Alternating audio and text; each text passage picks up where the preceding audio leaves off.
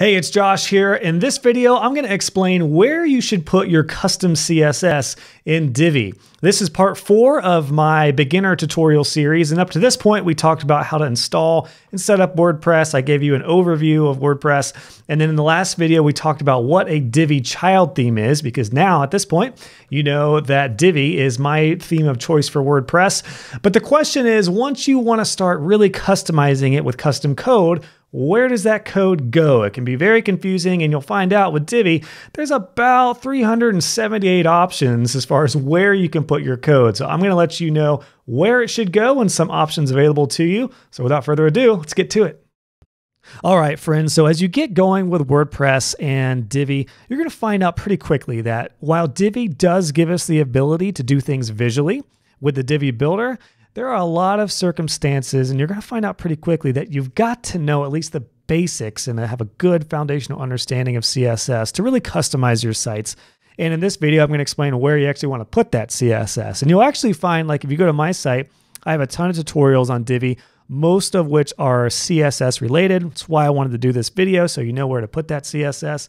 But it's just really, really important. And once you get to a point where you need to start customizing your site, whether it's a need for your site or you're working for clients and they ask you to do things that are, again, outside of the template options and theme options for Divi, you got to know CSS. Like these icons here, for example, are CSS in my menu. And this is why I was so passionate about putting together my Divi CSS course. So just remember, I have a whole course on Divi and CSS. If you're ready to take the next level, check out the link below. There's also a discount code for you, and I would love to help guide you to knowing CSS. It's also really important when you're adding other plugins and tools because they may be styled completely differently, and CSS is the best way to customize those. So it's going to save you a lot of time in the long run. But back to the main question where do I put my custom CSS? Well, there's about what did I say in the intro? Like 370 some ways. It's it's not exaggerating too far. If we enable the visual builder and we just start building from scratch with Divi, Let's add a column and let's just add a text module.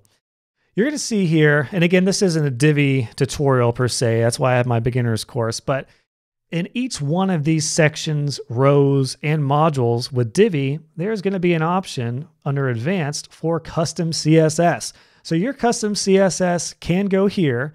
It can not only go in the main elements, but it can also go in what's called the before and after elements, which I explain more in my course as well. And if we look at the row, we go into the settings, same thing. There's custom CSS that we can put in here. This also gives us the ability to add classes, which you're going to see not only in detail in my course, but in a lot of my tutorials. And if we look at the module, each module will have options to put CSS in there as well. So you can literally put CSS right there in a number of different ways.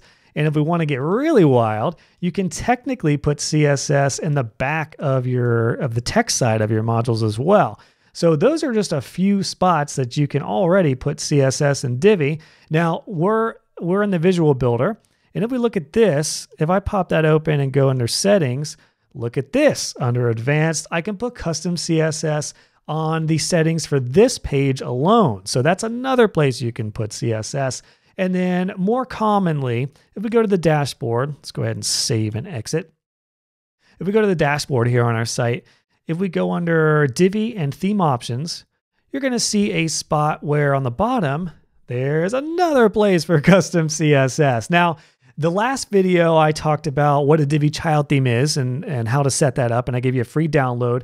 And the reason I wanted to do that first before showing you this is you actually want to put your CSS there.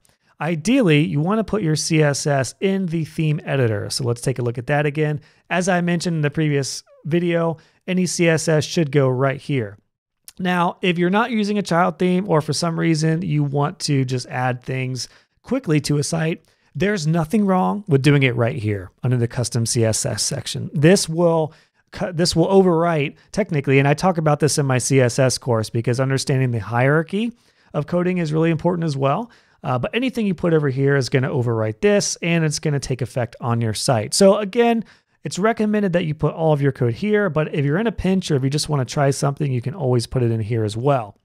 So a lot of tutorials you'll see online will have CSS placed there. Now again, uh, a couple other areas you might see where you can put CSS and Divi is if we go to the theme customizer In my beginner's course, I show you how to use this, but you can actually set up a lot of the general settings of your Divi site here. And look at that, additional CSS there too. Now, if we put something here, if we were to put um, any CSS here, let's just do, let me just put test right here. So if, and this isn't a CSS tutorial, so I know it's probably scary, but anything you put in here as far as Divi goes, watch this. That was in the theme customizer. If I go down here under theme options, hey, what I just wrote out there is under here. So that's actually the same section. It's just in different places of the website.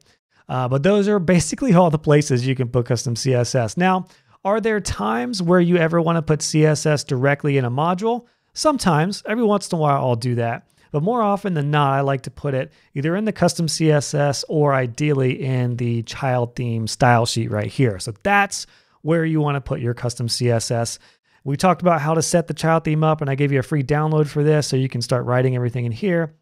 And then in the next video, I'm going to show you how to connect to this directly through your host through FTP. And really quickly, if we just want to take a look at practically how this works, let's say something out of the gate in Divi, um, like the Divi theme options don't do it and you need to customize it. For example, this little line, the menu in Divi often has, uh, or always is going to have that little line right there. Let's say your client's like, hey, I really don't like that um, that line right there. So what we can do, and I have a tutorial on how to use inspect element that I'll link to.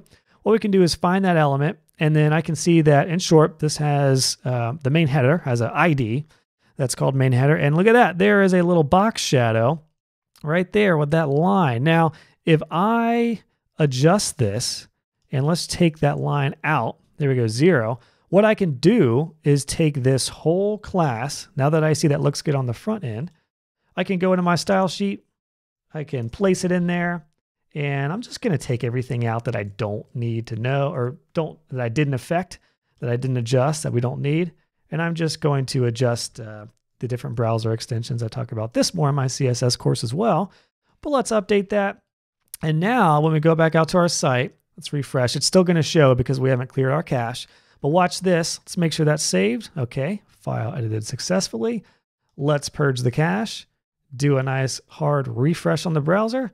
Adios line. There we go. So that's just a really quick practical example of how you may want to adjust CSS and where to put it. Again, I could put this down here in theme options under custom CSS, but ideally it's going to go in your style sheet directly. So there you go, guys. There's the overview of where to put your custom CSS. There's no harm in putting things in the CSS sections, uh, in your sections, rows, or modules with Divi.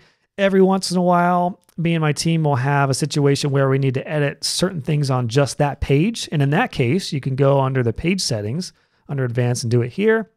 But more often than not, going to want to put global CSS things here in your style sheet, ideally again in your child theme style sheet. So make sure you visit part three of this tutorial series to download your free child theme style sheet. All right, guys, there you go. I'll see you in the next one where we'll talk about how to access this directly. Fun stuff.